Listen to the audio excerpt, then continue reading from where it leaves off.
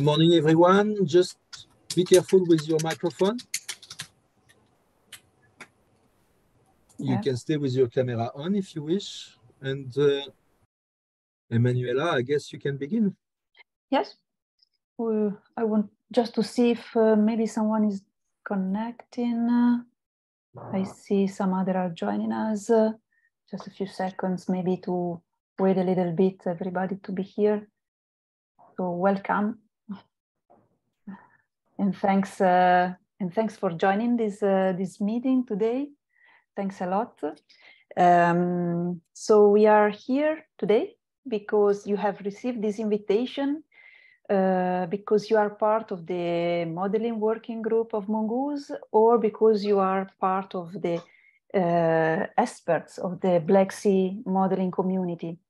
And uh, we want to start with you to create this team together with the Ocean Prediction DCC. And um, so we are having today this first meeting team uh, to build this team. And we expect to work together uh, in an active way and uh, building together uh, this community. Mm, Before starting, maybe it's better to, let's say, um, say that uh, this is uh, not the main meeting of the um, Mediterranean and Black Sea regional team, but it's uh, a preparatory meeting. So we would like to have a discussion with you to prepare the, the big event. And um, so we this is a sort of a working meeting. And uh, that's why we asked uh, only one representative for institution to, to join the meeting so we can have a more uh, easy and uh, um, open dialogue and agile dialogue, dialogue with you. So we can start uh, with the agenda. Uh, you probably have seen it already. We will have three sessions. First of all, uh, some changes in the agenda. Uh, since Vanessa Cardin, uh, chair of the MonGOOS, uh, is not um, cannot join us today. She's very busy in preparing. Oh, sorry, there's a microphone. Thank you. Um, but Vanessa cannot join us today. She's very busy in preparing a cruise, uh, observational cruise, and um, she apologizes. So I will take uh, uh, leading the the chairing of this session. We will start with the first session, uh, which will cover the presentation of the Ocean Prediction DCC regional team for the Mediterranean and Black Sea. It will last 50 minutes, more or less. Um, a second change in the agenda is that uh, we will have uh, two videos. Uh, we will start with two videos. The first is uh, with um, Alison Clausen from the Decade Coordination Unit, and then one from Pierre Bahurel, uh, which is the coordinator of uh, Mercator Ocean International. Then we will move to Enrique, uh, who is uh, the coordination, no, the coordinator of the Ocean Prediction DCC, who will explain the DCC and the existing plans. I will uh, give you some uh, information on the MonGOOS role within the Ocean Prediction DCC regional team. And then Stefania Ciliberti from Nologin uh, will provide us the feedback from the Ocean Prediction survey users survey. And then uh, Roman Zufic from Mercator, she will present uh, um, the atlas that will be launched uh, on ocean forecasting systems for the Mediterranean and Black Sea. then we will, um, let's say, we will talk a little prediction DCC meeting, then during the open discussion later we will move then to the session two, which will be an interactive session, and finally to open discussions. And uh, we will close the meeting around uh, 12. So um, the meeting uh, is recorded and uh, just a few information. So uh, if there is time after the presentation, we will uh, give you the floor for the questions. Otherwise, we will keep the questions by the end of the, the session during the open discussion uh, so we can have time to, to interact with each other. And uh, so uh, we are ready to start and we can uh, have uh, the first video from Alison Clausen uh, from the Decade Coordination Unit, I guess. Okay. So, good morning, good afternoon, uh, good evening to everybody. For those of you who don't know me, my name is Alison Clausen. I'm a program specialist at the Intergovernmental Oceanographic Commission of UNESCO, and I'm also the deputy coordinator of the UN Decade of Ocean Science for Sustainable Development.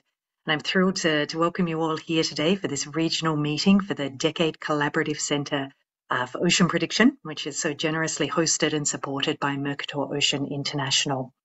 I just wanted to give a, a, few words, a few opening words about the decade as a start, where it came from, why we're why we've embarked on this adventure, but also really the the importance of ocean prediction and the particular importance of this decade collaborative centre within the within the decade.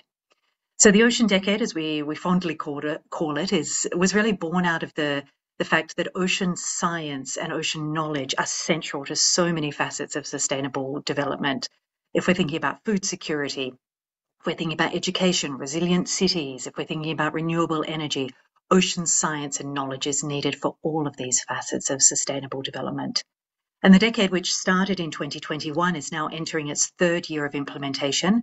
And I think this centrality of ocean science and, and the need for relevant and timely science and knowledge on the ocean is, is really greater than ever. But the opportunities are also greater than ever. You know, last year it was called the Super Year of the Ocean. Um, there were numerous global conferences and meetings and convenings. This year there have been incredible advances in terms of uh, new agreements and, and, and advances on the negotiation of a treaty around plastic pollution, around biodiversity in areas beyond national jurisdiction. And there's, I think, a really strong and growing awareness of the importance of the ocean for climate, for biodiversity action, and for human health and well-being. The work of the high-level panel for a sustainable ocean uh, economy has really encouraged, encouraged governments and other partners around the world to, to really start acting and, and, and develop tangible and actionable commitments and engagements to sustainably manage the ocean.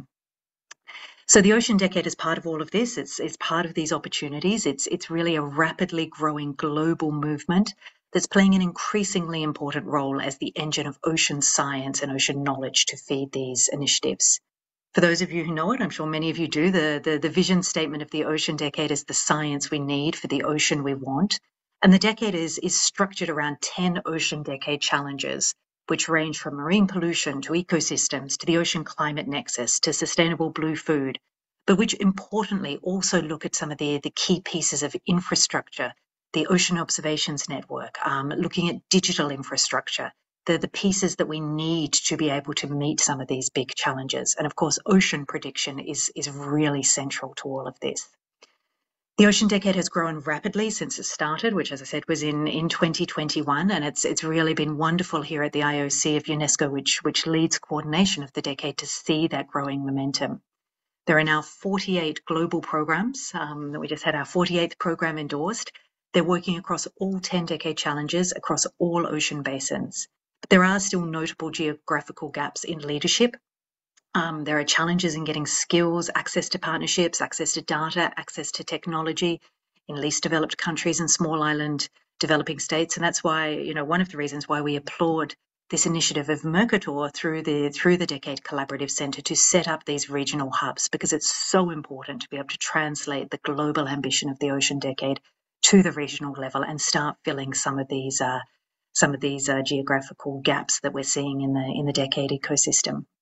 So these 48 programs, we also have close to 300 projects now. And if we're going to achieve the stated aim and vision of the decade to have the ocean we want by 2030, we're going to need massive amounts of coordination to ensure that we really are having a collective impact. And from the outset, the Ocean Decade was structured within UNESCO to have a very light and central coordination structure. But the aim was really to rely on partners with deep thematic and regional expertise and networks to take the decade to a level where impact could be achieved. And Mercator Ocean International was one of the first partners to really to rise to this challenge via the establishment of the Ocean Prediction Decade Collaborative Centre. And I think it's fair to say that Mercator has really become a model for others to follow through the innovative approaches that they're using to regional engagement, community creation, knowledge sharing, catalysts of partnerships. And IOC UNESCO and the Decade Coordination Unit sincerely thanks Pierre, Enrique, and the whole team for their leadership and engagement in this regard. Now, Mercator is not alone. Um, other Decade Collaborative Centres, Decade Coordination Offices have been emerging. We now have Decade Coordination Offices focusing on ocean observing and data sharing, and both of these are actually housed within UNESCO itself. And so, in this way, the Ocean Prediction DCC of Mercator is really able to play an even stronger and more impactful role by working with these other decade coordination officers along the whole ocean science value chain. 2024 is going to be a critical year for the decade. It's going to come fast. We're already very, very close to uh, midway through 2023. Um, the 2024 Ocean Decade Conference is going to be a, a, seminal moment for the decade. It's going to take place in Barcelona in April from the 10th to 12th of April 2024. Uh, Pre registration has opened, as has the call for satellite events. So have a look at the uh, Ocean Decade website and find out more. And that Ocean Decade Conference, of course, is going to be an essential part of the preparation for the 2025 United Nations Ocean Conference. With the support of Mercator, uh, the DCC and other partners, we hope that the ocean forecasting and prediction community is going to be able to really seize these opportunities, uh, these events, these major global convenings that are coming up to grow and to continue to catalyze new and innovative, innovative partnerships and sustainable development solutions. So having these discussions like today at the regional level is going to really ensure the relevance, the uptake of results, and, and this meeting is so important. I wish you all wonderful discussions. I wish I could be there with you in person, but unfortunately I'm I'm, I'm traveling and I'm committed elsewhere. But I really look forward to continuing to to collaborate in the framework of the, the decade with, with the team at Mercator, with the Decade Collaborative Centre, and with all of you to collectively achieve the vision of the Ocean Decade for the ocean we want by 2030. Thank you very much.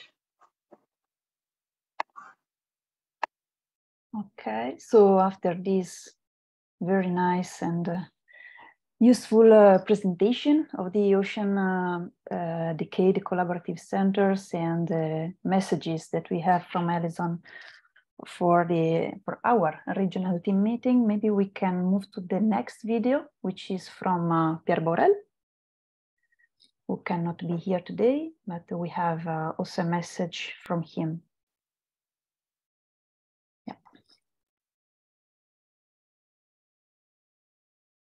Dear colleagues, dear friends of Ocean Prediction, I am Pierre Bahurel. I'm the Director General of Mercator Ocean International, which is the organization that has been entrusted by IOC UNESCO for the implementation of Ocean Prediction DCC. I'm fully convinced that this is timely, this is necessary to deliver as one, as one community, worldwide community for ocean prediction. And we are ready with we were ready with Enrique Alvarez Fanjul, the technical coordinator of the DCC, to fight for this, to work with you. But we were not prepared to receive such an, a response from you, from the community, about the appetite for doing more. So yes, we will do that. I have the feeling, and more than that, that there is something happening in our community of ocean prediction. Political leaders, they have decisions to make for the ocean, and they turn to us. They, they are looking for the data, they are looking for evidence. They are looking for this digital oceanography, the modeling, the prediction to explain more. And we are there and we, we are ready to deliver. And we are more impactful than we think and more organized than they think. So this is exactly what this ocean prediction DCC is about. Organize our community, make it clear, visible, and impactful, and be ready to deliver as one at the end of the decade but we will do more and every every year we will deliver and we can trust Enrique for this to steer the, the the our group to really deliver. And this year we want to deliver two things a map and a plan. A map to put each of us on the map and be able to identify who is where and what are the best practices for your region to share them with the other region and the plan to explain what we want to do all together, the standards, the technical background that we want to share, and how we will deliver as a community. A map and a plan. And something which is very important is that this Ocean Prediction DCC is a collaborative centers. It means that this is a bottom-up approach. We will work from the programs of the UNDK, this fantastic momentum that has been creating with programs that are gathering the projects and the actions. So we will play with the program leaders and the, and the teams to uh, identify what is mature to organize this community, and we will play with the regions, with your region, because we do believe that the best experts in your area is are you. So we want to understand from your region what can be shared with the others, how we can work together to deliver as one in this ocean prediction DCC. So I wish you, wish you the very best for this meeting and um, trust Enrique for the rest of the um, of the meeting. Thank you very much. Okay, so so Pierre has uh, launched the floor to Enrique. So we trust Enrique for this presentation on the Ocean Prediction DCC. And uh, please, Enrique, the, the floor is yours and we wait for your explanation on, on the plan and the description of this uh, Ocean Prediction DCC.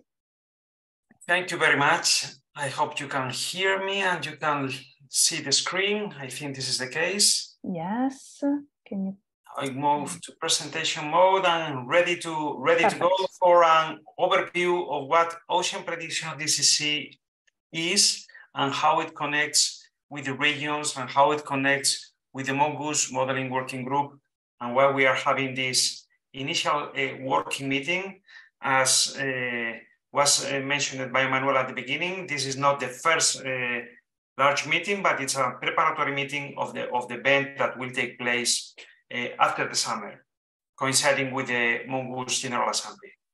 So first of all, uh, linking with what uh, Alison explained and linking with what Pierre explained, uh, what is our position in the decade? What is our role in the, in the decade? You are hearing about these DCCs, and probably you hear also about DCOs, which are very, very similar things, I have to say. We are not entering into the distinction of what is DCC and DCO. And if you look into the decade implementation plan, you will find basically two main blocks. One is the governance and coordination framework, and the other one are the programs and the associated projects. So uh, in this framework, we have decade coordination uh, unit, where Alison is uh, deputy leader, and this is the direction of the decade. This is the unit that is in charge of steering the whole process. And then on the other side, you have the programs with uh, its uh, associated projects. You know that each program is trying to find the resources for launching the different projects. And you have many well-known names like ForeSea, like DITTO, James Ocean, CoastPredict, very well-known, Ocean Solution, all these programs have a connection with ocean forecasting. They are related to ocean forecasting. So the uh, worry of the decade coordination unit is that these programs are delivering by the end of the decade something that is coordinated and something that is that will survive the decade, that will have uh, its own weight and will survive uh, the, the decade. So this is exactly the role of the Decade Collaborative Centers and the Decade Collaborative Offices. It's collaboration, ensure the collaboration, monitoring, and coordination of all these uh, programs. So the, there are several DCCs and DCOs. Very relevant to us are the DCC related, uh, the DCOs related to uh, ocean observing, data sharing, and coastal resilience. So these will talk to each other and will together uh, do this work of collaboration, monitoring, and coordination of the, when I say coordination, literally it's a soft coordination work. It's not a, a top-down approach, but it's a soft coordination work of these uh, programs.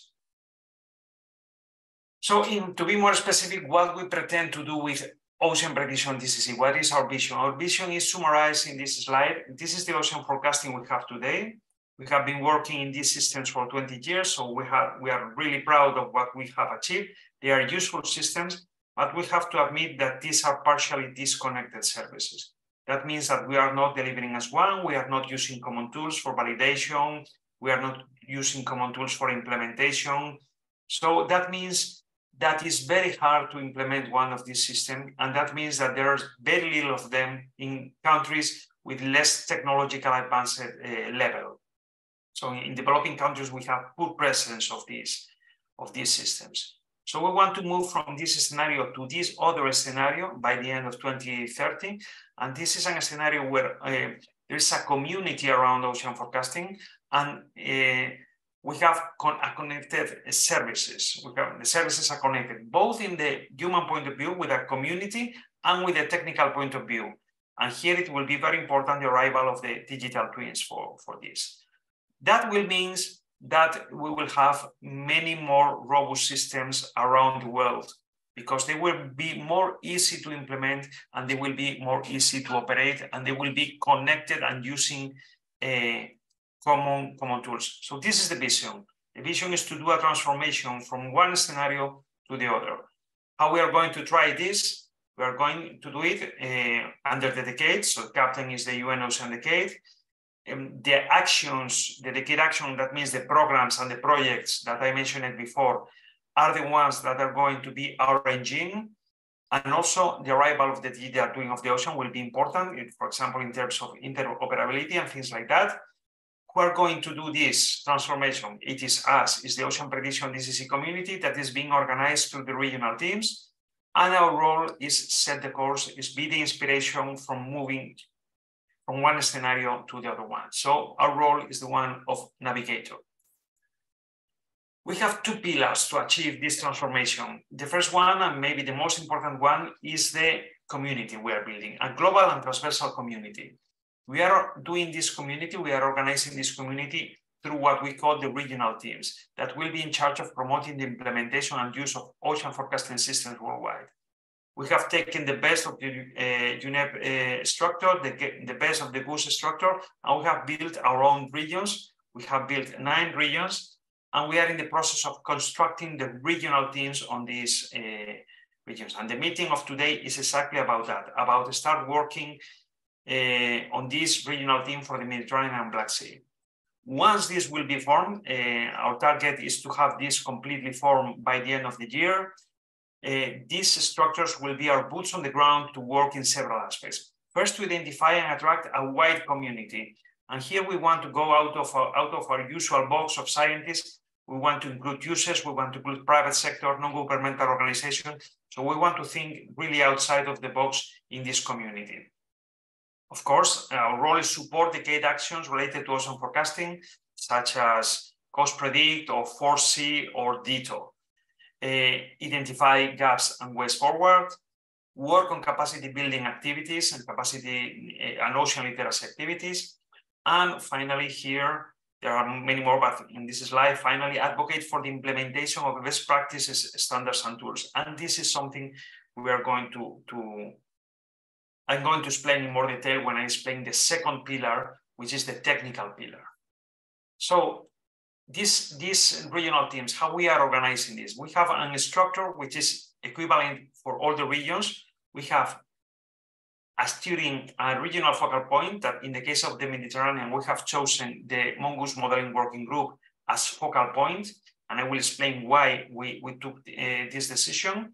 And then we will have a steering team. The steering team will be formed by a, a set of person, a group of person with the same speciality, the same that they are leaders, that they are they are experts on the same topics in each region. So by having these same uh, experts on every region, they will be able to talk to each other and we will be able to create a global network to address all the issues that we want in the framework of this transformation. So it's a regional focal point, which uh, we have identified as the MonGOOS. Uh, for the case of the Mediterranean, in every region, there's a different approach. In the case of the Mediterranean, is the MonGOOS modeling working group. I will explain why. And the steering team that in the case of the Mediterranean is still to be formed, is still to be decided who is going to be, to be there. So why why Mondelli's uh, uh, MonGOOS Modeling Working Group as focal point of this regional team. So MonGOOS Modeling Working Group, it, it's all about also empowering the, model, the MonGOOS Modeling Working Group. MonGOOS Modeling Working Group is basically in charge of developing state-of-the-art science and application at the coastal scale at the Mediterranean and also at the regional scale, I should have uh, said here. So what we are trying to achieve with this, with this uh, new role. We are going to extend the capabilities of MonGOOS Modeling Working Group thanks to the participation in Ocean Prediction DCC. Why we are doing that? How we are doing this? Well, first of all, uh, that will allow allow MonGOOS to participate in the collaboration structures of the decade. Remember my slide about where the DCC is. So MonGOOS will have a role now in this collaboration structure, which is a very natural position for MonGOOS to be. So this is somehow empowering and giving a, a, a more important role to the MonGOOS and specifically to the working group. We are going to link with additional sectors beyond science community. So this is an extension of the natural playground of MonGOOS Modeling Working Group. We are not only staying with, the, with our scientific community, but going beyond that. We are going to provide a series of tools for uh, ocean developed by Ocean Prediction DCC that could be used by the MonGOOS Modeling Working Group community, the Atlas, the forum. I will, there's uh, the presentation by Roman later that will explain all these things. Then it will be established a peer-to-peer -peer connection with the regional teams of other parts of the world. Remember this structure of the steering team where everybody can talk to other parts of the world having the same role. We will uh, work on the, I will explain on the second pillar on this a common agreed architecture for forecasting system that will uh, also uh, support the MonGOOS uh, modeling working group activities. And we will participate in future capacity development activities that are still to be defined and where we will count with your with this community. So this, this is the idea is that uh, by doing this, we will add an extra layer of uh, to the MonGOOS modeling working group, and we will not reinvent the wheel. We know the science is there. So we don't want to reinvent the wheel. We don't want to look to another place. We want to acknowledge that the science is in the modeling working group. We are just adding an, several extra layers to, to this science. So this is why we think this is a good idea. So what is the situation uh, with respect to, to all this uh, community we are building? We are advancing uh, at different uh, speeds, at different regions. Some of the regions we have gone very fast. This is, let's say, the, the test, the steps that we have, we want to have finished before the end of the year, chair assigned, contribution to the technical teams, terms of reference, or in, in your case, we have called this a collaboration plan uh, updated and approved, kickoff meeting, and steering uh, group ready. So this is this is going well in different regions. And other regions we are going a little bit more slow because it's being more difficult to find uh, the chairs or just for, for due to pure bad luck. But we are advancing in general really, really well. This is, as Pierre said, uh, the reaction to, to this initiative has been incredible. We have all, almost 1,800 persons registered for the kickoff meeting, which was unbelievable, which was incredible. So there's a big appetite about this initiative and we are so happy about that. We are going well on, this, and the METSI is going well on this uh, building of these teams that we want to have finished worldwide by the end of the year. Finally, the second pillar, we are not talking much about this today, but we will have a presentation by Stefania about the, the first results of this technical pillar is a technical joint global uh, framework. We have this problem that uh, I explained at the beginning, very nice systems, but somehow disconnected, difficult to implement, difficult to operate. And this is almost impossible for a developing country to operate uh, those systems. This is the reality. So no, during, during developing and during exploitation, we have all these problems. We have the opportunity of the decade as a game changer. So we have, uh, we want to, uh, to develop this new scenario by making a use, let's say, of dedicated opportunities and the opportunities derived from the digital twins. Uh, for example, those advances in interoperabilities with the data lakes. How we are going to, to start walking in this direction. Uh, this is a very difficult task, so we, we will go step by step, and we are starting to move in this direction. So towards a solution, not a solution, but towards a solution, is to build an ocean forecasting co-design team. This is a team that we have created with 40 experts, uh, very relevant experts of all the continents, of other regional teams, uh, that are already working hard in designing a new architecture, including that will be uh, defined by standards, tools, and best practices to be implemented in comparison in comparison with uh, obviously the, the programs. So hopefully, if we finish this this uh, new architecture, this design, uh, the result, these standards, tools, and best practices that we will identify as needed will uh, inspire the CAPE programs for the development of these uh, tools. So this is how we have just started to work in this direction by with the creation of this ocean forecasting co-design team that is now starting to work. And the idea is that uh, this will uh, define the standards, tools, and best practices that will be required to do this change in paradigm. This is the this is the view. So as conclusions, ocean prediction DCC, we hope it will be a key element for the ocean prediction we need. We are building on an active community of users, scientists, and policymakers. We want to have additional focus on developing countries. We are harnessing the decade framework and the arrival of the digital twin of the ocean to join and deliver together worldwide. This is the vision. And why collaboration with MonGOOS Modeling Working Group is a natural approach, because we are not reinventing the wheel on the technical side. It will not be, uh, let's say, elegant or nice if we start from scratch without acknowledging uh, that the technical side is already well organized in the MonGOOS community. We are expanding this modeling working group to completely new capabilities. We are contributing to improve the position of MonGOOS in the framework of the, of the decade by doing that. And after this, I hope you will be able to understand better our model in the world around ocean prediction. So thank you very much. And I don't know if we are right with the timing. Maybe we can leave the questions because I, for the for the joint discussion. Yes, Enrique, thanks a lot for the presentation and for all Manuela, these... you are, you are muted. Okay. Oh, sorry. Can you hear me? Yes, now yes. Okay. So thanks a lot, Enrique, for the presentation and all these clarifications. I guess there will be questions for you, but better to take them uh, at the end of this uh, session during this discussion, since we are already a little bit in delay. I will now move to uh, my presentation. Hope you can see it. Okay. And I will, yeah, complement a little bit what has been already said by Enrique. He already mentioned the importance for the MonGOOS modeling working group on being part of the ocean prediction DCC regional team. I would give just a brief recap. Uh, last year, um, two new chairs have been uh, elected as MonGOOS working group um, for the modeling working group. Uh, it's me. Uh, I work at CMCC in Italy and Franck Dumas from SHOM in, in France.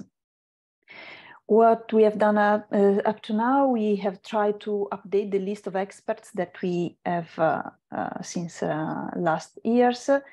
And now we have a list of 75 experts and what we have tried also to do is also to engage experts uh, on the Mediterranean Sea um, modeling uh, community, also external to the MonGOOS community. So also from institutes which are not yet part of the MonGOOS, but maybe will be uh, engaged very soon. So we are from 12 countries around Mediterranean Sea and from 44 institutes up to now. And uh, you recently received a request for updating this list of experts, uh, suggesting also other experts, uh, and also providing us with some uh, information of your field of expertise. Um, with the information that we have achieved uh, so far, um, this is a, a, little bit of a recap. We try to, to see uh, where we are located. So most of the experts of this uh, working group uh, are dealing with circulation hydrodynamic modeling. Um, we have also more than 25 people working with wave modeling, uh, around 12 on biogeochemical modeling, and uh, a few also uh, dealing with the climate modeling.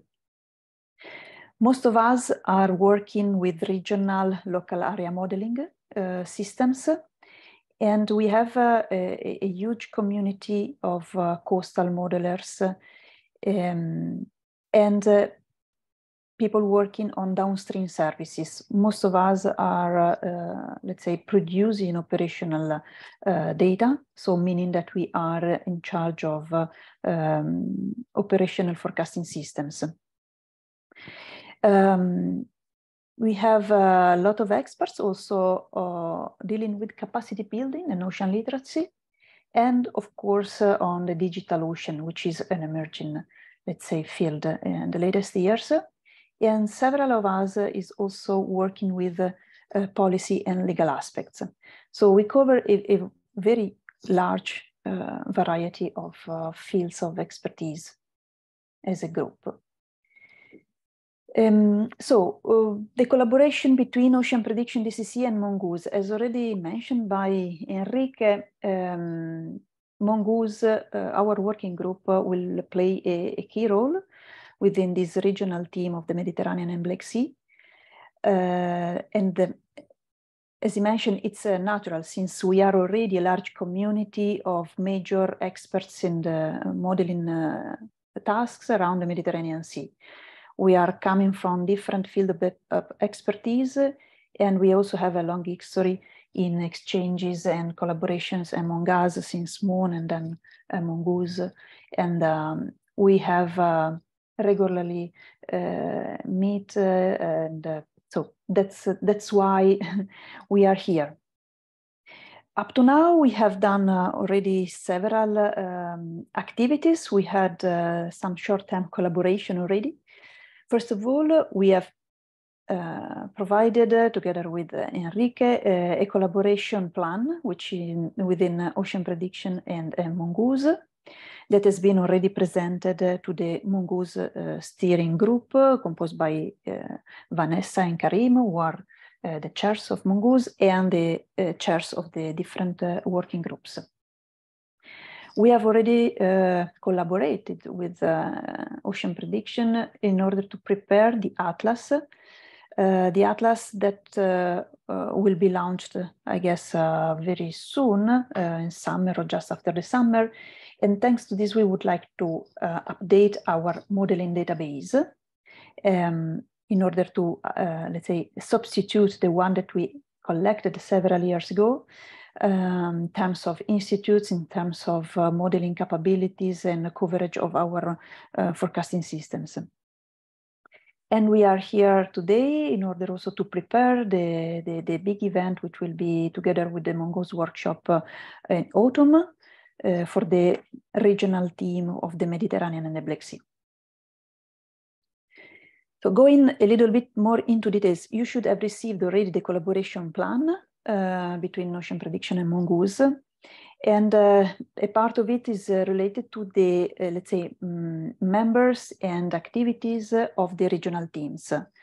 This is um, to explain you a little bit more uh, how uh, we will, uh, let's say, contribute and participate.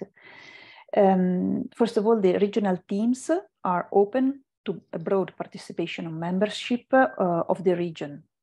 And it's composed by representatives and contributors.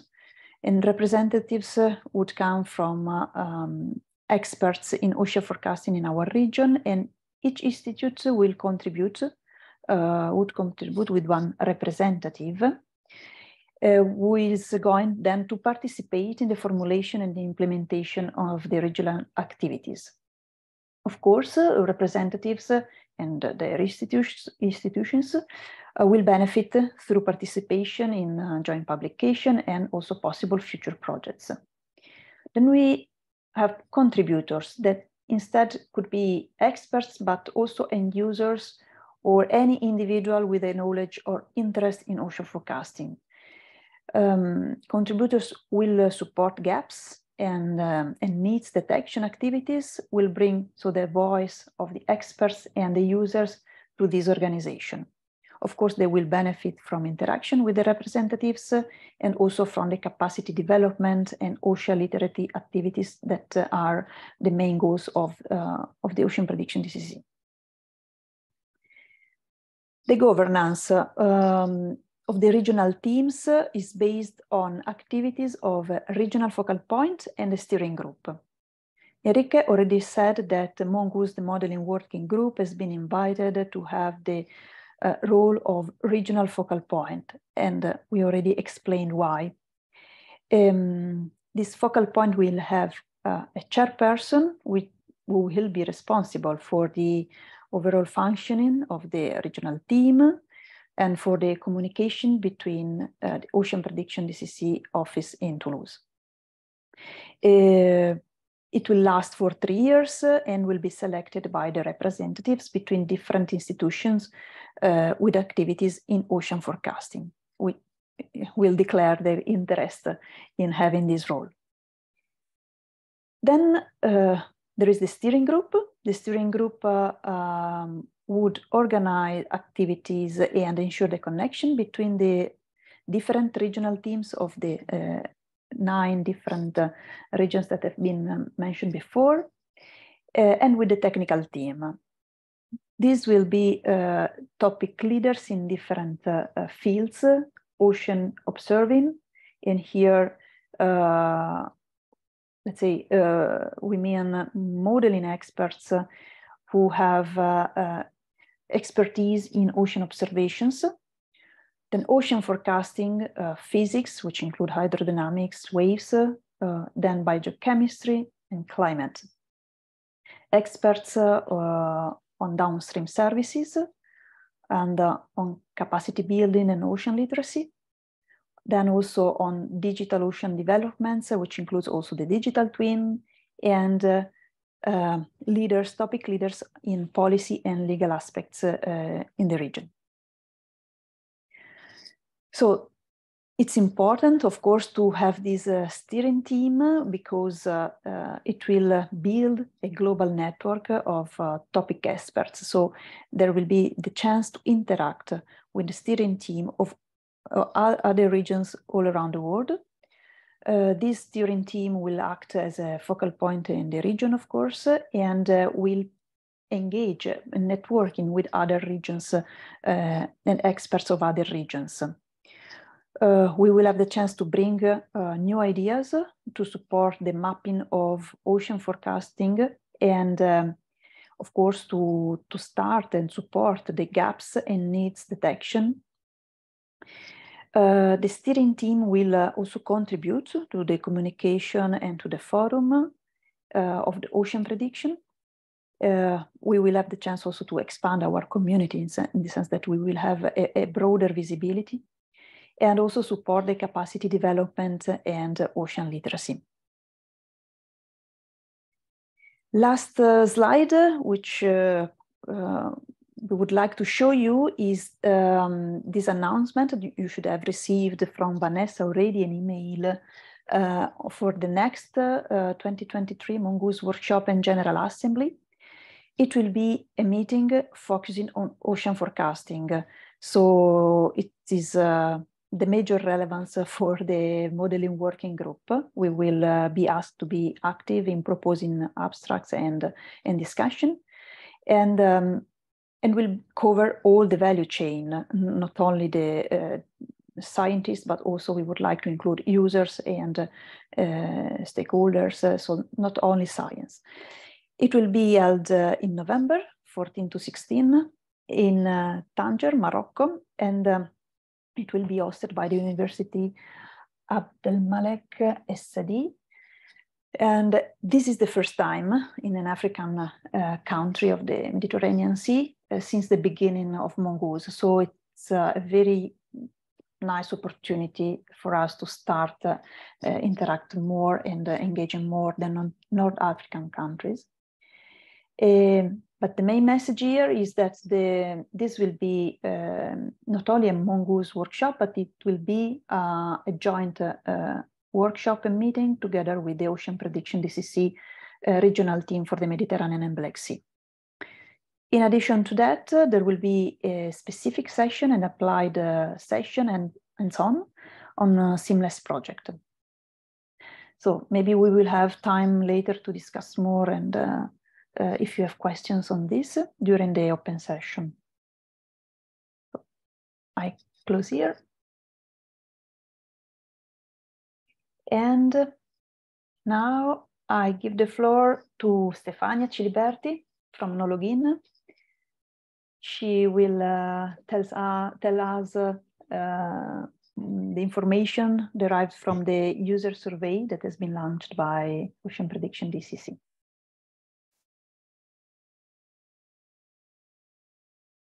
Thank you, Emanuela. Good morning, everyone. It's uh, Stefania from uh, Nologin Oceanic Weather Systems, and on behalf of uh, Jay, Kirsten, and Enrique, I will present you uh, some results about our analysis uh, on uh, the experts and end users polls that we launched in the last months in the framework of the ocean forecasting co-design team that was uh, uh, before introduced uh, by Enrique in his presentation in as part of the, let's say, activity on the uh, ocean prediction DCC. But uh, now let's focus uh, on the polls that we have submitted to experts and end users.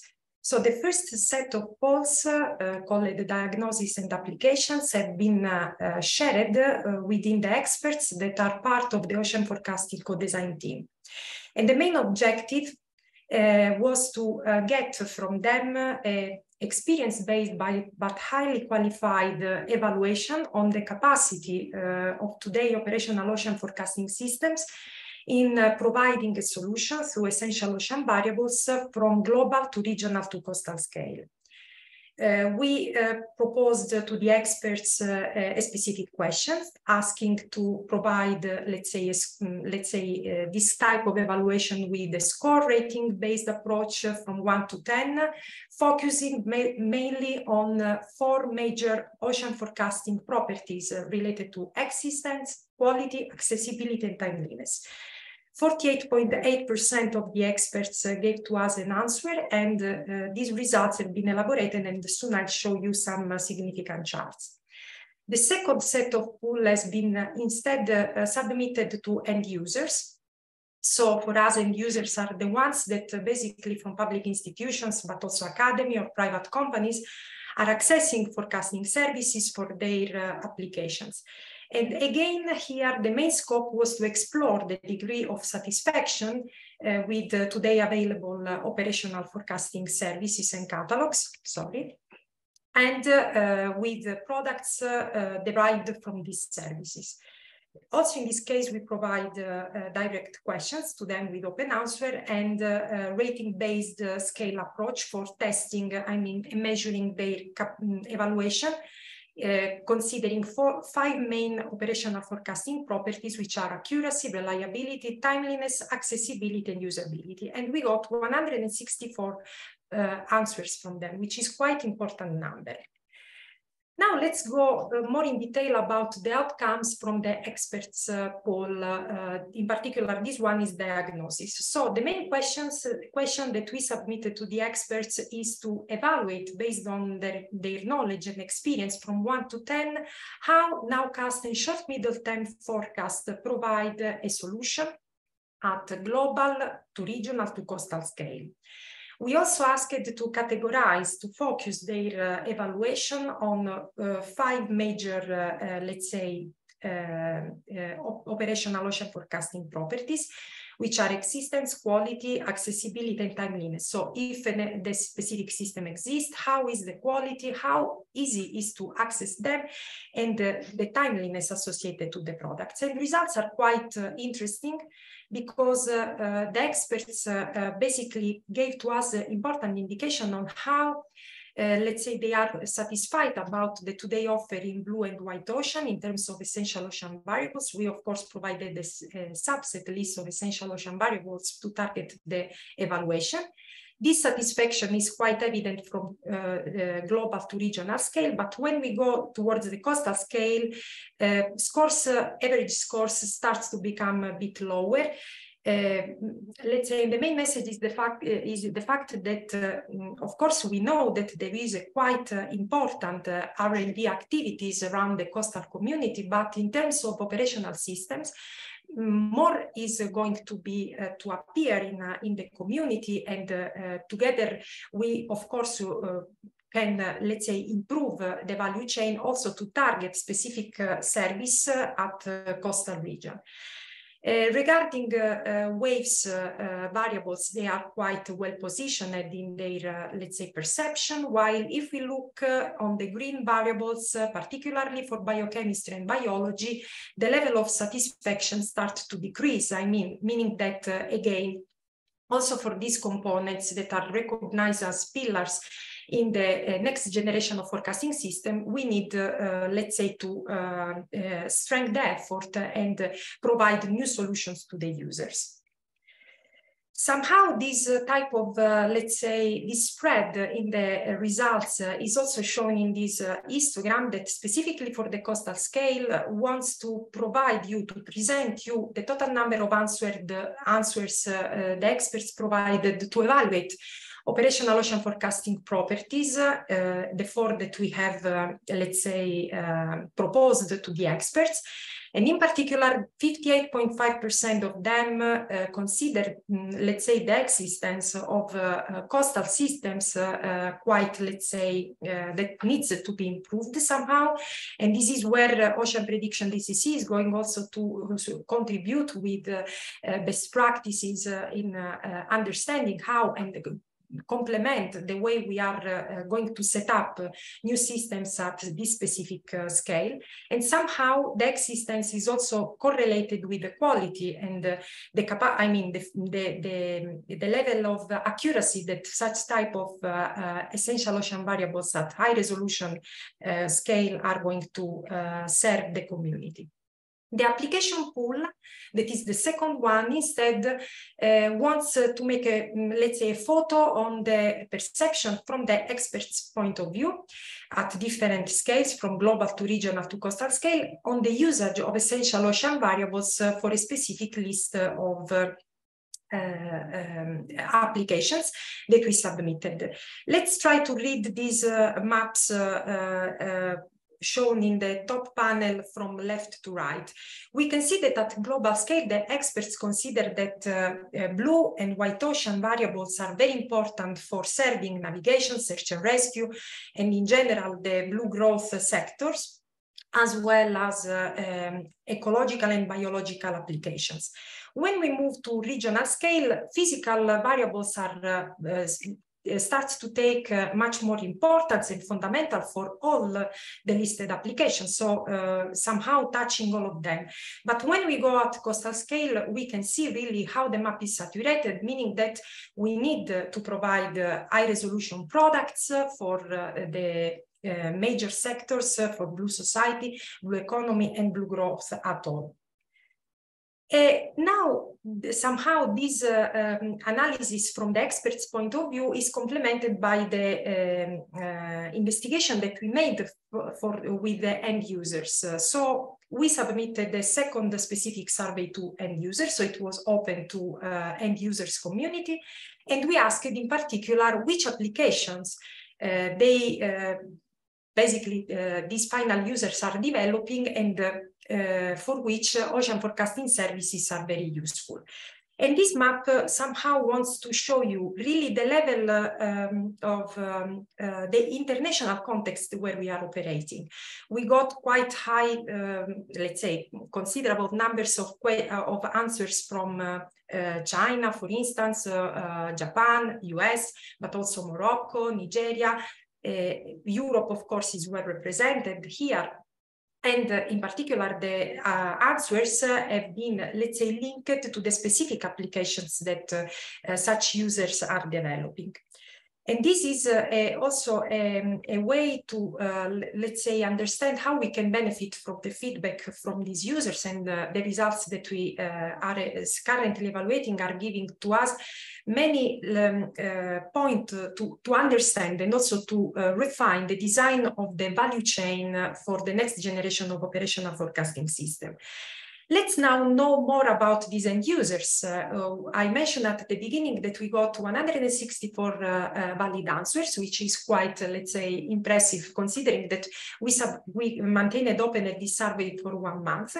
There is a very good uh, representation for public institutions, but also a good percentage of uh, end users for, from the private sectors that are somehow involved in the key applications in the blue growth. So here, sorry, you can see the number of entries per specific uh, application. And here, the, ma the main ones are, let's say, the major number of uh, entries are related on uh, applications in the field of disaster risk reduction, but also water quality, fisheries, and ecological and biological application.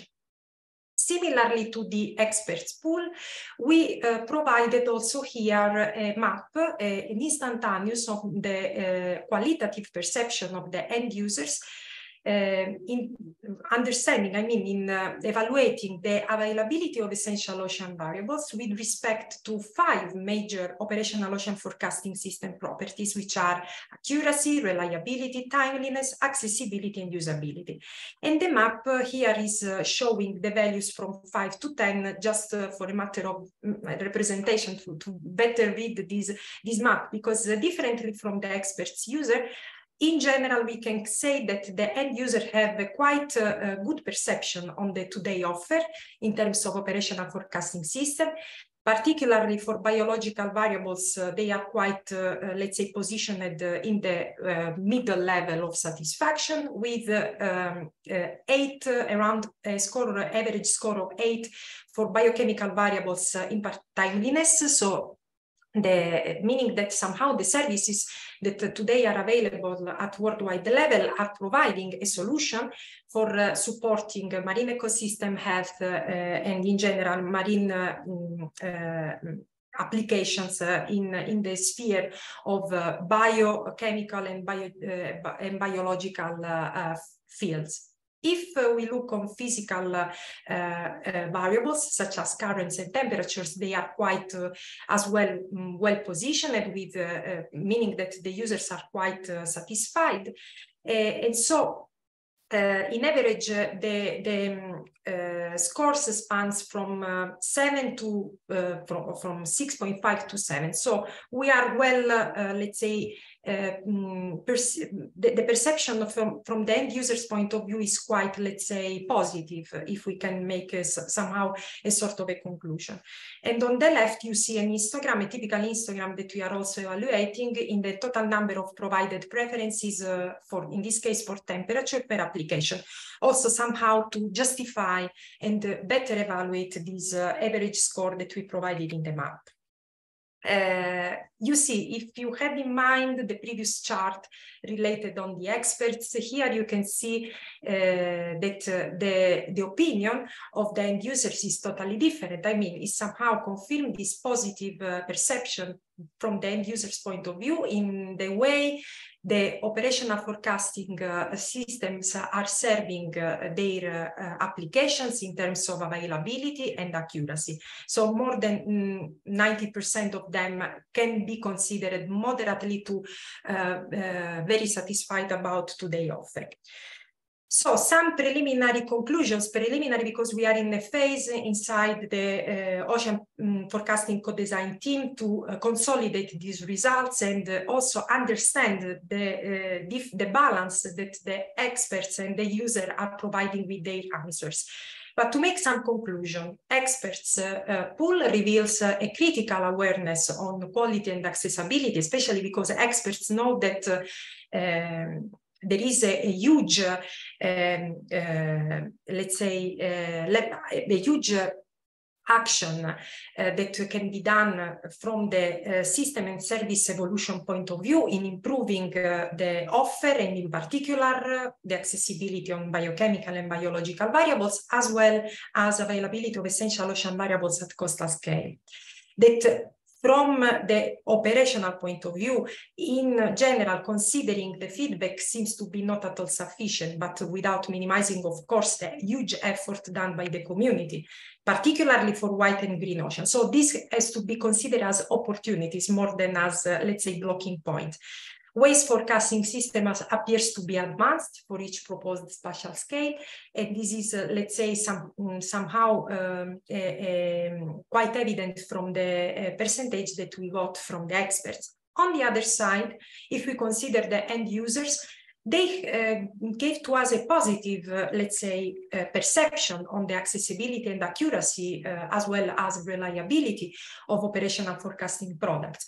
Of course, again, biological variables uh, is considered uh, in their in the way they are available quite satisfactory.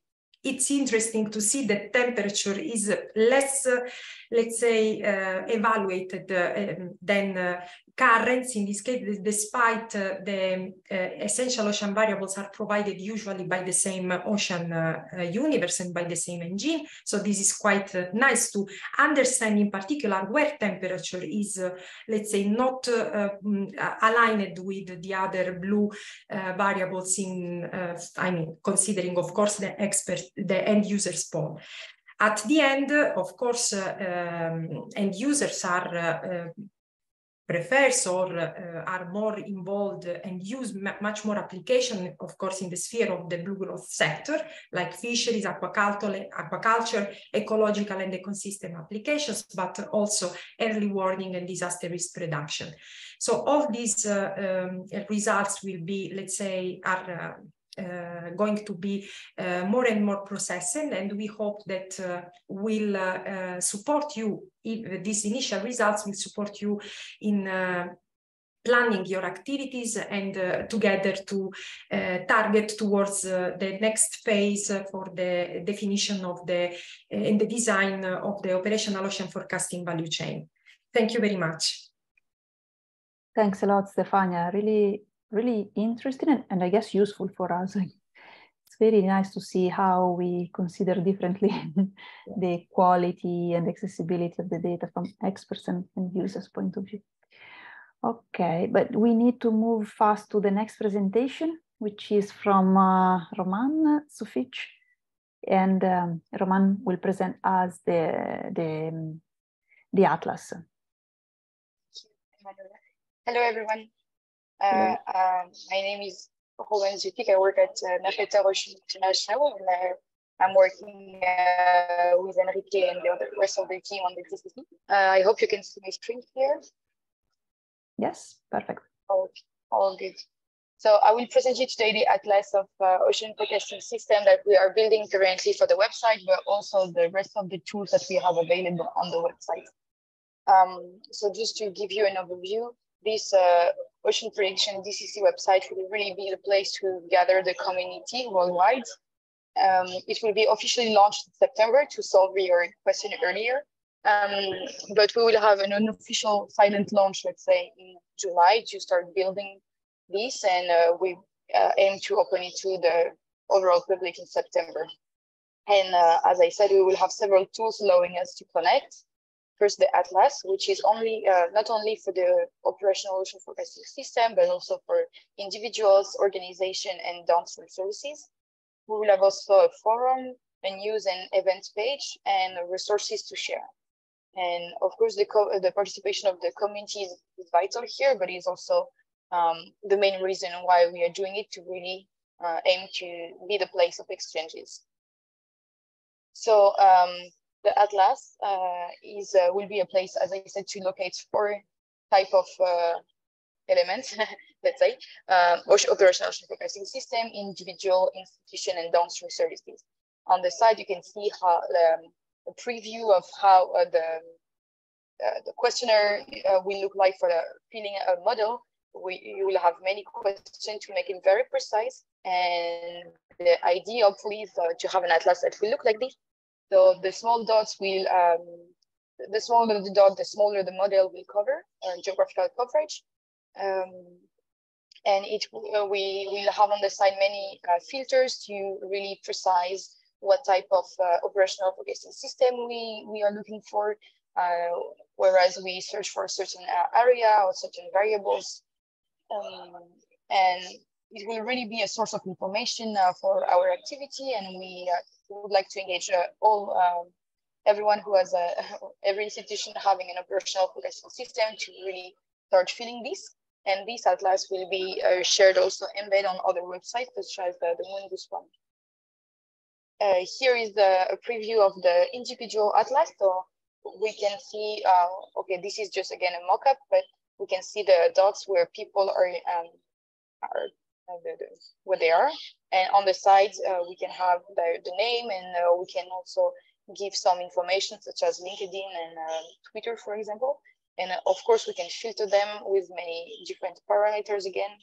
And if we click on someone, this is what we will, we see.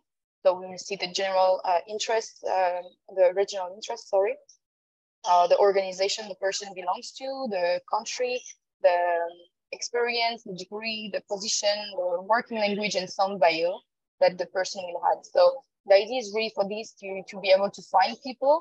It will be the same for organization. We uh, organization can have their own page like this, and they will be linked to the system they have implemented and running.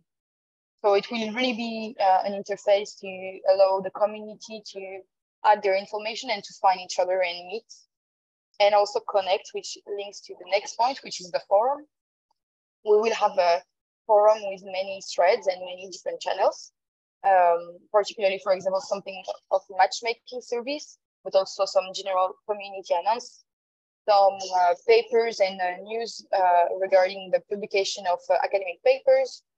We will have threads, of course, for the different regional teams and also a technical forum uh, for, for example, if I go to the up here on the side, it's very small, I know, but uh, you can see that we aim to have one uh, channel per, per model. Uh, so here it's really about doing some uh, best practice and team building and doubt solving uh, kind of interaction with people asking questions about specific things. And um, the administration of some section could be done by the regional teams because we will need some things to moderate to make sure the, the question and uh, all the doubts are, are, solved. So this is remain to be seen how we can organize this, but um, the idea is really for the experts to be able to, to validate the, the, the replies of the that help to the people. Of course, we'll have a news page as well so this will be a place for you to connect uh, with the Ocean Decade Action uh, and programs such as ForeSea Ocean Predict, but also with the regional teams. We will have news from the region, so we aim to have uh, uh the different regional teams sending us some news uh, that we will share this. Um, and it's really about to reach a transversal audience. Uh, as you may remember, during the kickoff meeting uh, back in uh, January, we had more than uh, 1,800 people registered, and we aim to really uh, involve all of these people to register to this website and be able to share with us their news. We will have special announcement. We will have news from Decade Action. So this will be really um, a place to, to, to share the, not only news, but also event, which is at the bottom of this page. We cannot see here because it's just a preview, but of course we aim to share events as well. So regional uh, teams will be um, invited also to share us uh, the event that they want us to, to put forward. Uh, then we will have an ETOOFS wiki, so the ETOOFS guide that was uh, that, that, that, was launched uh, last year will be converted into the uh, wiki site for everyone to be able to contribute to it. Uh, the idea here is to have a consolidated version being published every three to four years. Uh, for example, we aim to have a new section on biological modeling, uh, hydrotrophic, and for a tsunami chapter as well. So this improvement will be first done through the wiki with uh, expert contributing and of course with uh, moderation, making sure the content is relevant. And uh, we will aim to improve some section for example, adding a river contribution. And uh, on the side, you can see how it will look like. So you can you will be able to click on contribute for chapter to chapter. Then you will be able to, to see here to choose the section you would like to edit and then submit your text, submit your reference, your figures, and that will all go through a moderation time before uh, being uh, uh, told that your section has been approved. And the idea is really to use this ETOOFS guide to do capacity development activities, but also to really make sure the expertise we have is shared and also continuously develop among each other. Uh, again, uh, from the taken back from the, the kickoff meeting, during the kickoff meeting, we had uh, virtual halls, exhibition halls on different things, particularly on the uh, one UN Decade hall, one downstream service hall, and one um, operational ocean forecasting system hall. And these three halls will really be uh, imported directly onto our website with a similar uh, looking at what we had during the kickoff. So this on the side, you can see how it will look like. And the idea is really for uh, the ocean prediction to showcase the existing systems uh, on a more detailed page with uh, providing some content, some documents, some information, and this can be updated on demand. So if you want uh, to modify some information or if you want to add a new system, this will be able, uh, this will be possible by asking the moderators. And I think that's uh, yeah, that's it for what the, the website will look like. But really, uh, I would like to, to ask you to be ready in uh, September to contribute, to start discussing on the on the forum, maybe taking uh, over the regional team channel for the Sea, Med Mediterranean Sea and Black Sea, and also to be ready to contribute to the Atlas, which will be uh, the really important place if we want to gather and to map the community of uh, ocean prediction. Thank you very much. Thanks, uh, thanks a lot, Roman. Very, very useful informations. Um, yeah, so we, we wait for the website, we wait for the Atlas to contribute, of course. It will be for us the opportunity to update our uh, information on the modeling capability in the Mediterranean Sea, of course. So now I guess that we have finished, we can close the first session and then um, we move to the session two, which will be, let's say, managed by Mercator. We will have an interaction section. So Enrique, I leave you the floor. So thank you very much, Emanuela, and thank you to all for the really great presentations. The idea now is uh, we are going to have some, some nice minutes with an interactive activity uh, that we are somehow going to test today. And the idea is that we repeat this with a, uh, modification, with improvements during our uh, meeting after the summer in Morocco during our really uh, kickoff meeting. So this is this is for having some some nice time today and for checking if uh, everything is, is fine with respect to, uh, to, you and if you want to add additional ideas to this interactive uh, activity. Uh, then we will have some time. Uh, I, I, ask you to deliver fast on the interactive activity, so we have some time. We will try to make it a little bit short because it's a kind of experiment. And we will uh, make sure that we have some time for discussion. The discussion will be consist on doubts about the presentation and also general doubts about the collaboration agreement that we have submitted, ideas on how to improve the collaboration agreement, ideas on how to improve our uh, MonGOOS Modeling Working Group or the regional team on DCC. Everything is, is up, will be open for the, for the open discussion. We will ask during the open discussion you to raise the hand and we, I will give the floor to the different people as uh, you uh, raise the hand.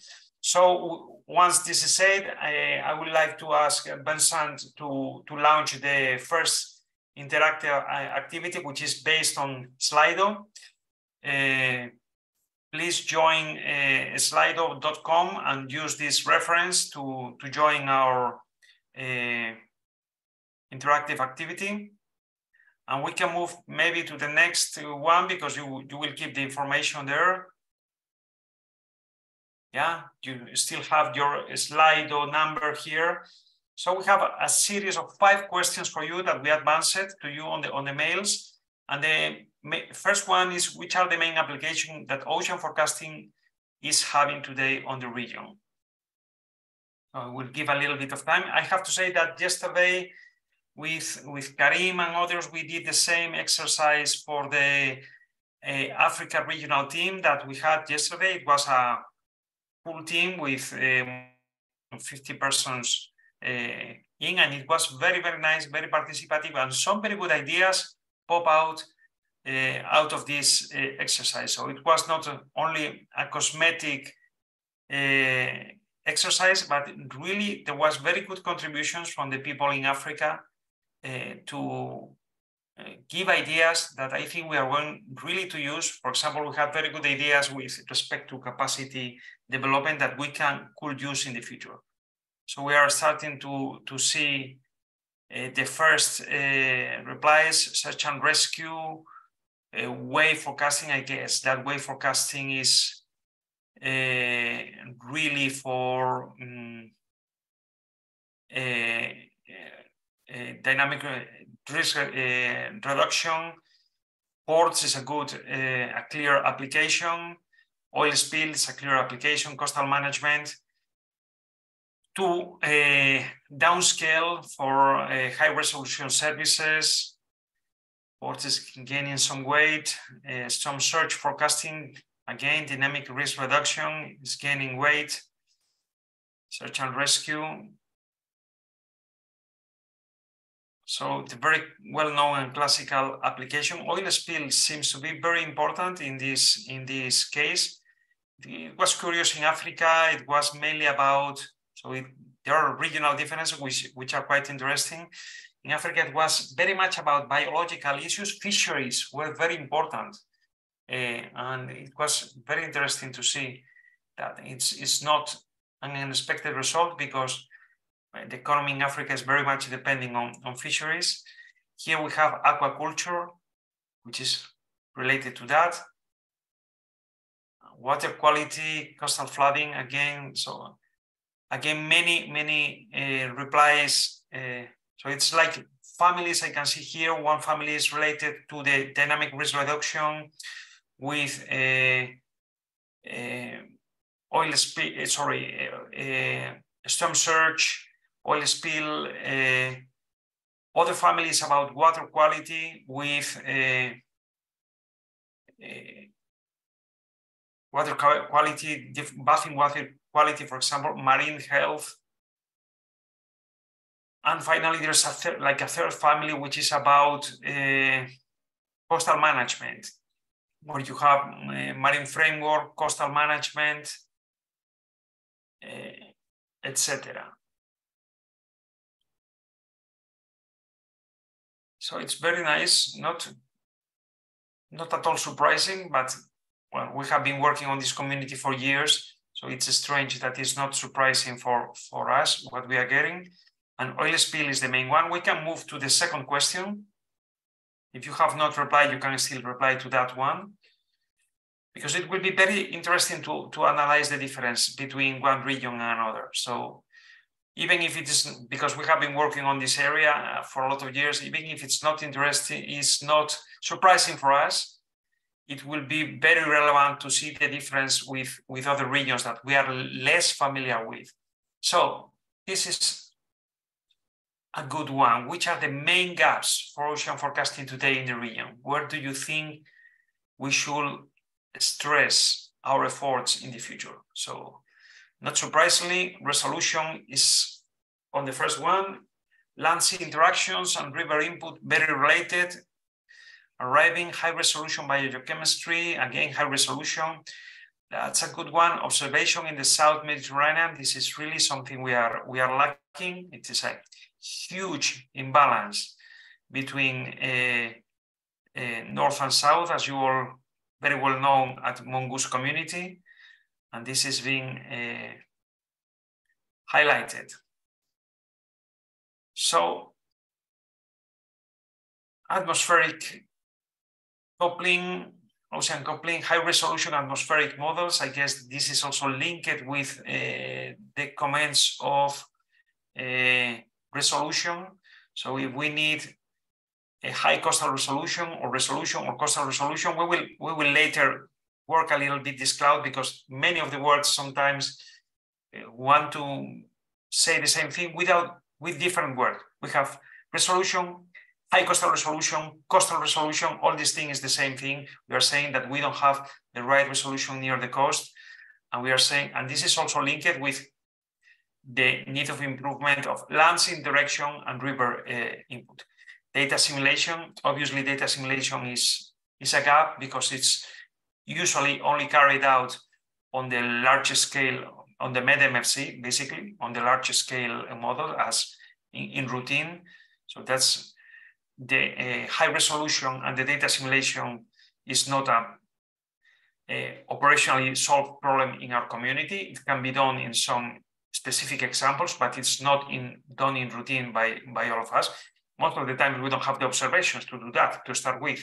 And this links with Again, the uh, observation in the South Med comments, coastal data assimilation, another one on data assimilation, HF radar data assimilation, another one on data assimilation. Again, we don't have too many HF radars, but the ones that we have could be interesting to assimilate. Um, very interesting work recently I've seen uh, about HF radar uh, improving uh, ocean forecasting thanks to artificial intelligence. So that's that's another thing to, to explore in the future.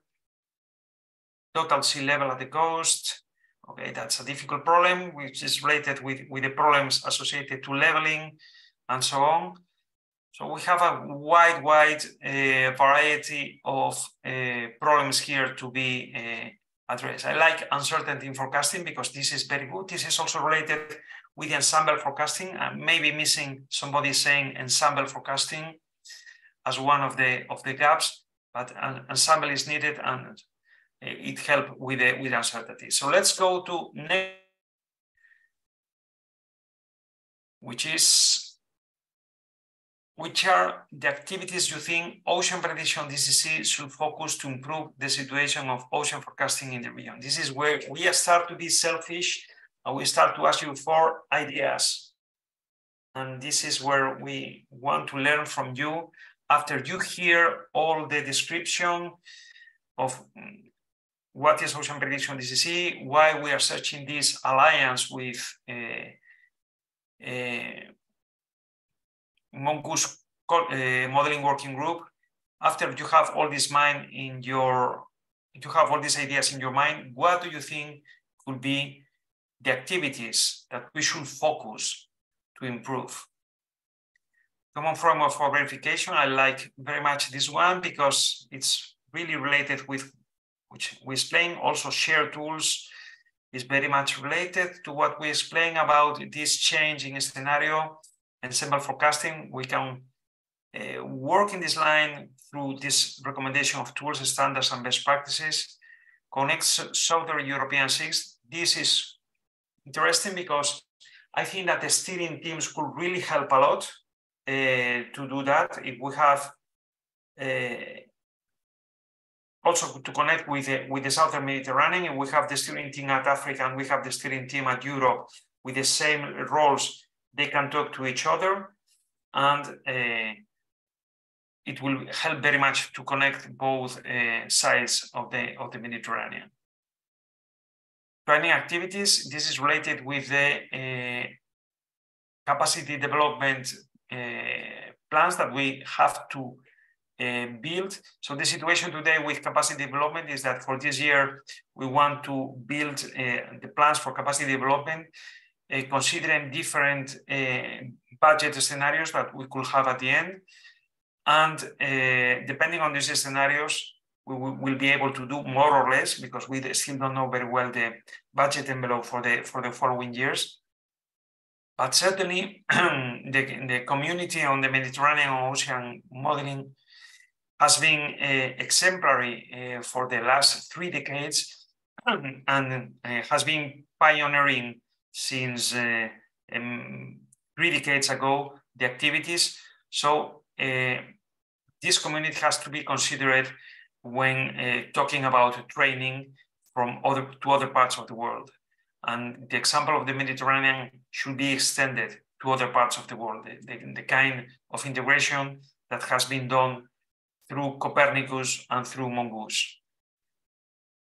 So budget to foster collaboration, I think that will that that maybe will be will be difficult in the short term, but who knows in the long term.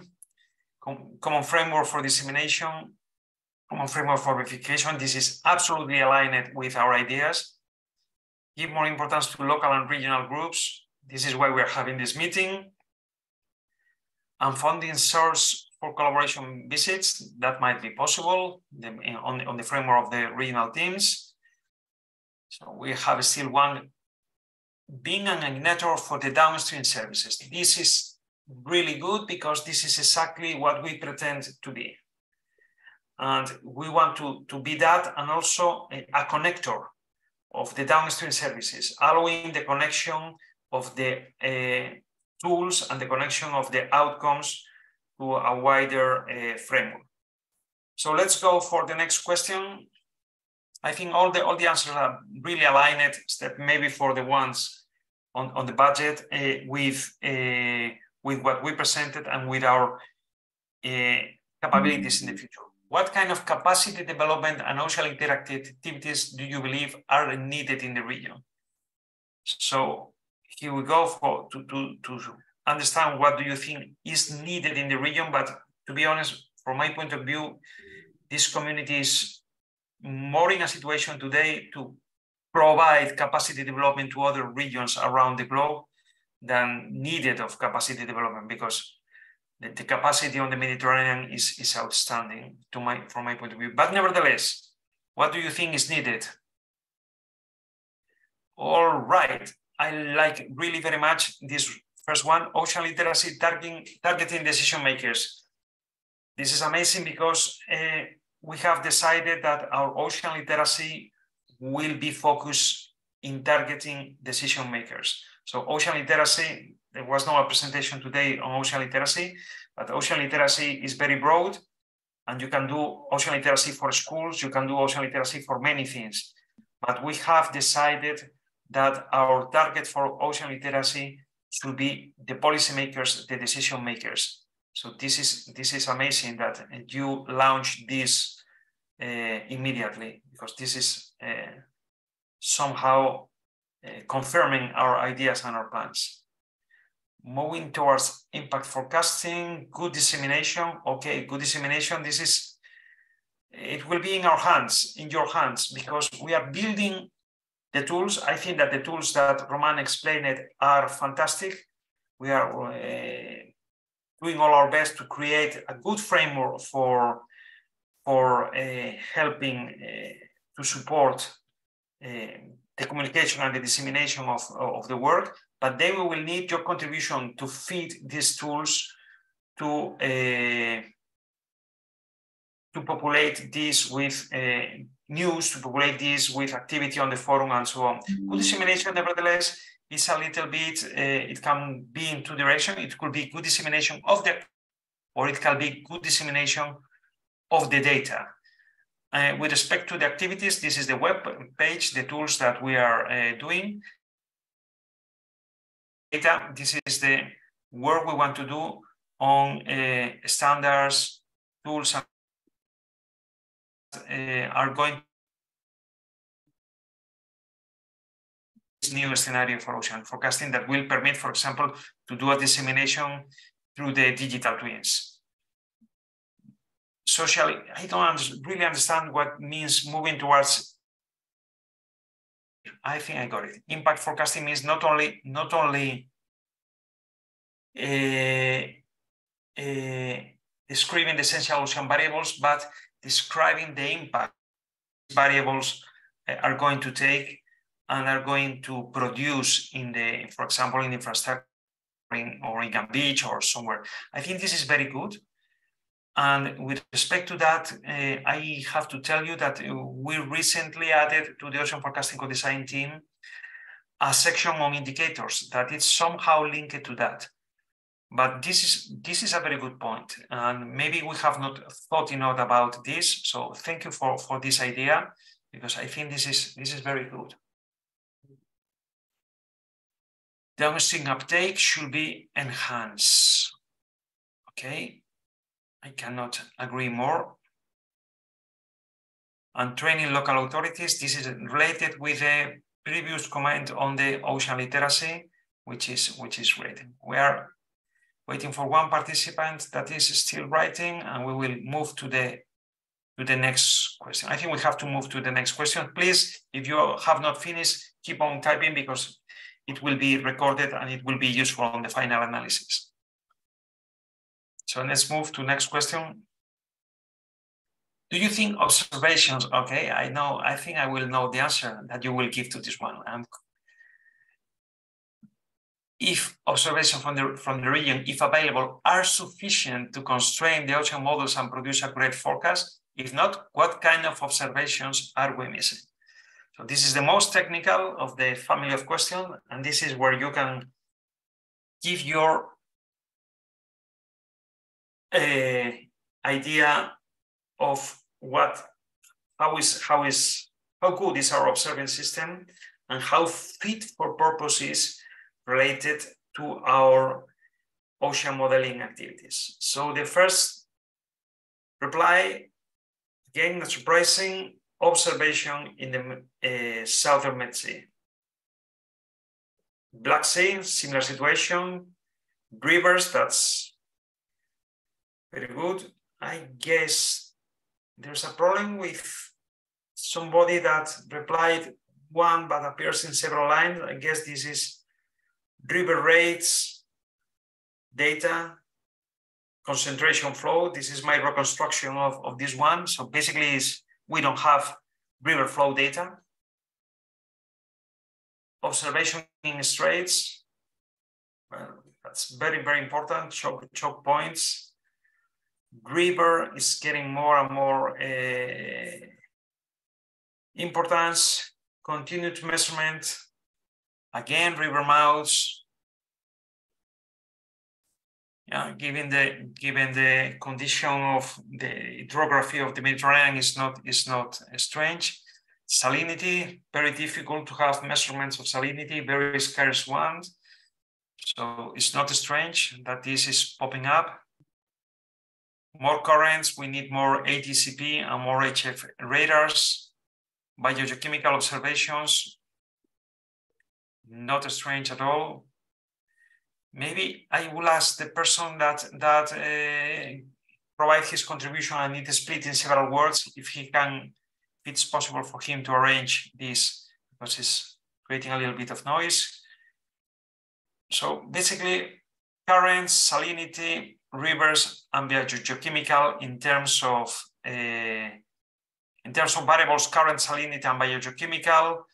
Then in terms of things that we need to observe it's the rivers in different in different uh, uh, flavors in terms of uh, observations. You, you, can see uh, other words re related to the rivers, and then in terms of geography, we have the Black Sea and the Southern Mediterranean. So essential ocean variables, currents, salinity, and biogeochemical type of things we want to see is the rivers mainly.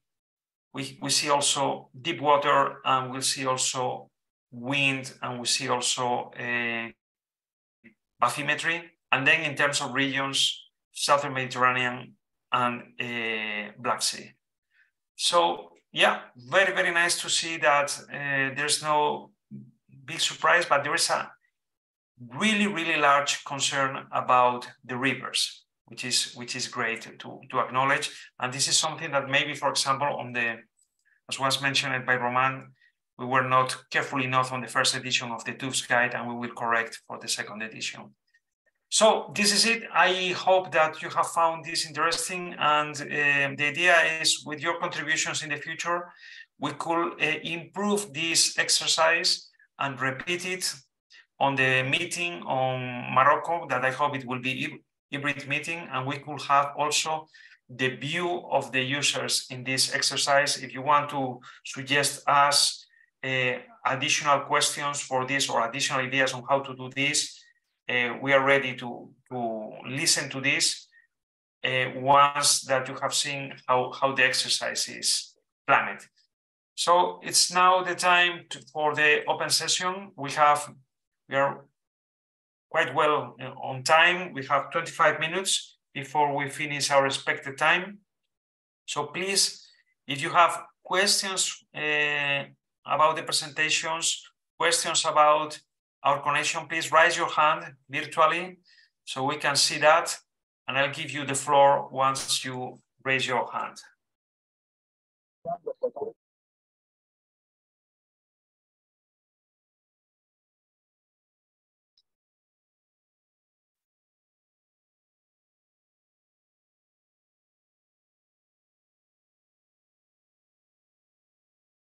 I see no questions up to now. It's I cannot believe you don't have questions, for example, for the presentation, the Stefania presentation on, on the quality of the services, showing these nice results about the different, uh,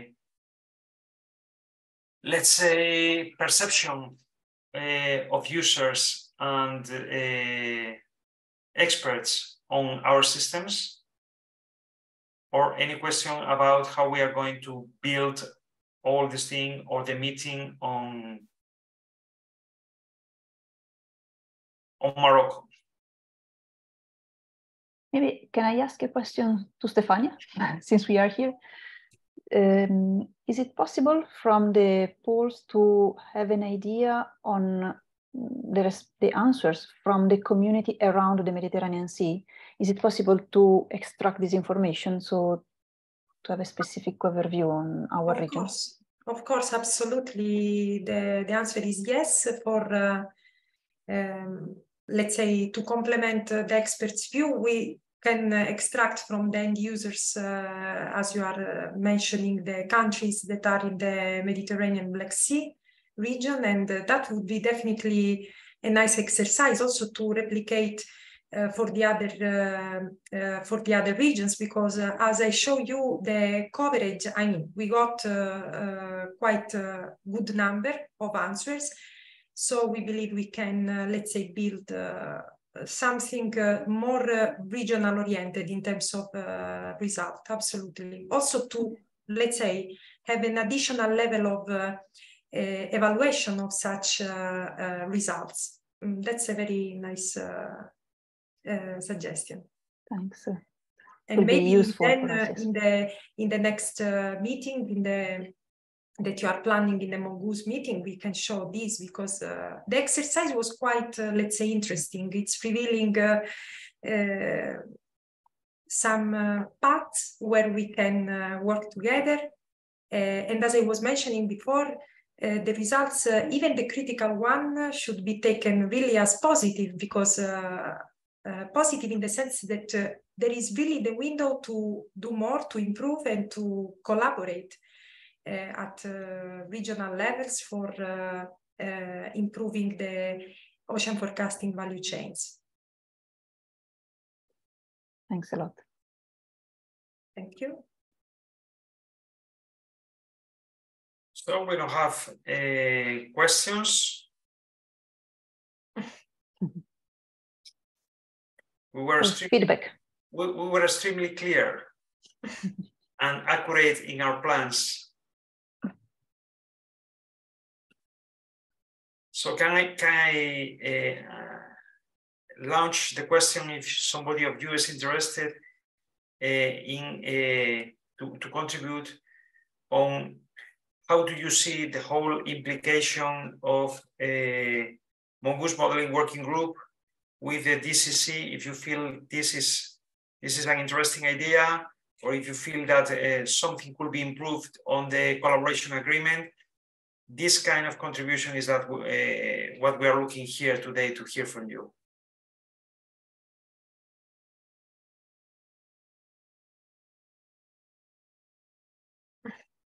Okay, I have to say that Africa meeting was more participative yesterday.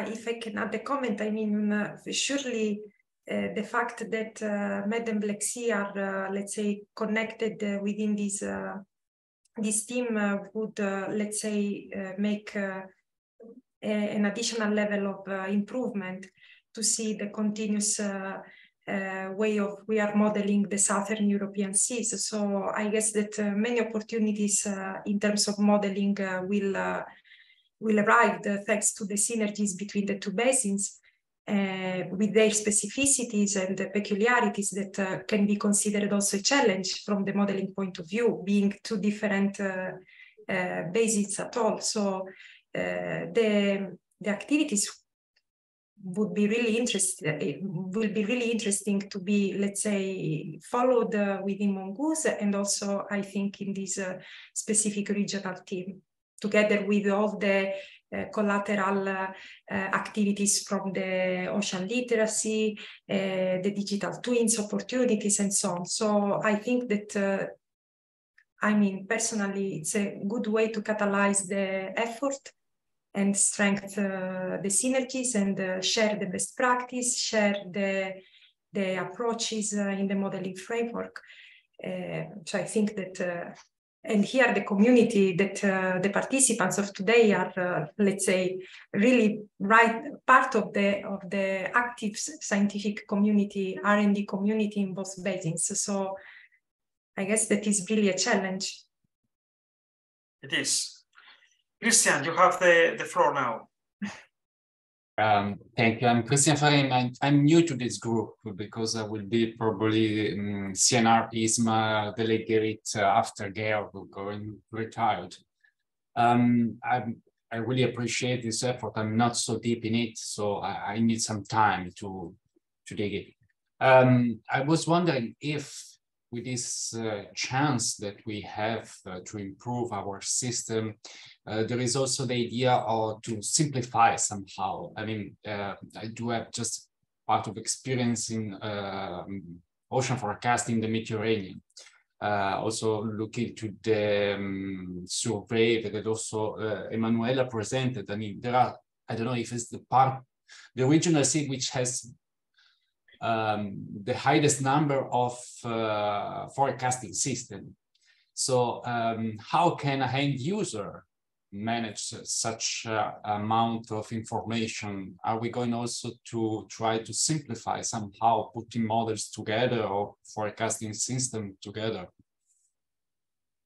Ah, this is this is a good point. Uh, uh, the the fact that we're going to uh, promote that we uh, deliver together, it's going to help mm-hmm. users to find in a single entry point the different solutions that they have available.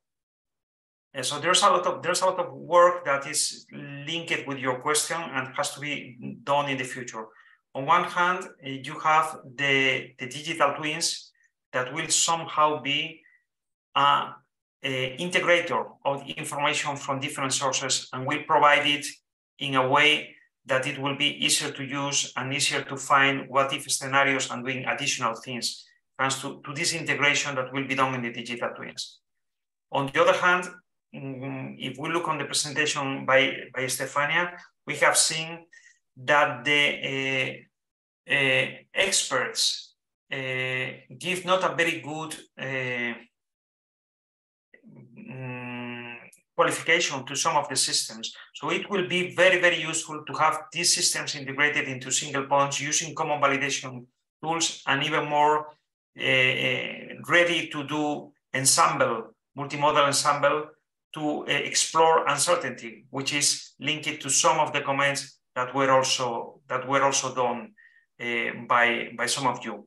Yeah, so I, I was thinking. I was thinking about that. Uh, like for waves, I mean, how many wave models are running on the Mediterranean Sea? I think that people mostly tend to look to the regional system, like Italians tend to look to the Italian model, Greece as well, and Spain as well. But uh, for sure, multi-model ensemble, at least for part of the region, yeah, can be, can be a, not a solution, but can be an um, appreciable approach. Now, this, this is certainly way forward. The digital twins will, will help a lot on that. And there's a very nice exercise on that that was done uh, at Puertos del Estado by, by and several others of doing exactly that with sea level on the Mediterranean, taking into consideration the different solutions and doing multi-model ensemble. And, and you see that the, it's, it's, very nice to see that the multi-model ensemble is better than any of the individual solutions. And on top of that, you have uh, uncertainty on the on the on the forecast, and uh, on top of that, you are doing that with solutions that are already existing, as you are saying, Christian. Yeah, yeah, we're doing similar in the Adriatic. Much easier with the waves than with yeah. The it's always it's always easier with the waves, isn't it? Thanks. Okay, Thank you, uh, Christian. Something, something I would like to stress is that in the future, Emanuela and uh, uh, myself will have to populate this steering team. Maybe, maybe Manuela, you can share your screen and, and explain again the positions. And we will certainly uh, will contact some of you to, to, to ask to be part of this uh, steering team. But if you want to, to proceed in advance and volunteer, please send an email to, to Emanuela or to me so we can start populating this steering team. I have to say that for some regions, the steering team is completely built now, especially for those in in Africa, sorry, in in Asia, in Africa is almost finished also. Uh, amazingly, we are going very, very fast in, in Africa with everything. So the steering team for Africa is formed for uh, Indian seas is completely formed also. So uh, it will be great if we can do it also for the Mediterranean and we can find uh, expert willing to volunteer helping us in these topics.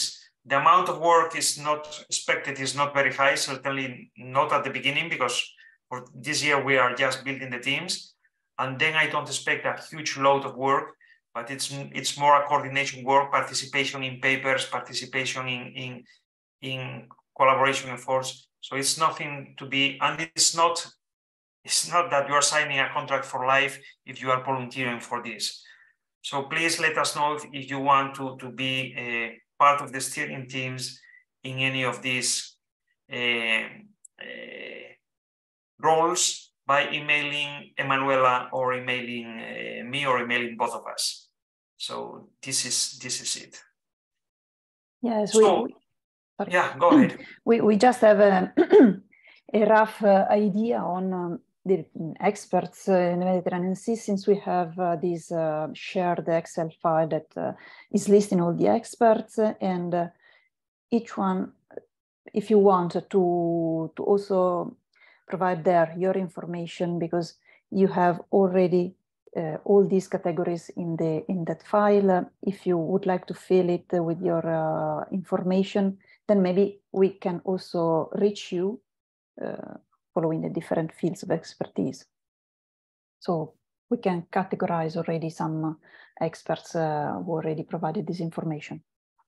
The, the one that uh, have been used to build this, let's see, say, here it is. Yeah, this graphic. Okay, so this is this is next step, and I think that since I don't see additional uh, comments or people wanting to to say something, I want to to finish uh, before giving the floor to Emanuela to to close to for thanking you for for being here. Thank you for your participation and uh, let's start working on all this stuff and let's start preparing the, the meeting for that will be the first regional team meeting to be uh, hosted by uh, Morocco. So Emanuela, if you want to, to close the meeting, please? Yes, thanks a lot to everybody. Thanks for attending the meeting. I hope uh, now... Uh, Sorry, I, I forgot it would be nice if we connect the cameras and we make a family picture it will be great if you can open your web. Thanks. I'm so sorry. Again, um, may I ask if the presentation will be available to, to the group? Sure. Thanks. So you will receive soon um, more information on the MonGOOS uh, and the Ocean Prediction DCC regional team meeting uh, in November you will be asked for uh, actively participate and provide abstracts and so on. So in July, more or less, you will receive more information to, on that. I hope uh, you enjoyed the meeting. You have now a more clear overview on the ocean prediction regional team for the Mediterranean Sea. And uh, as already mentioned, we will keep in touch uh, to ask for your involvement uh, in the steering team. Thanks a lot. Bye-bye. Thank you. Bye. Bye. Bye bye. Bye bye.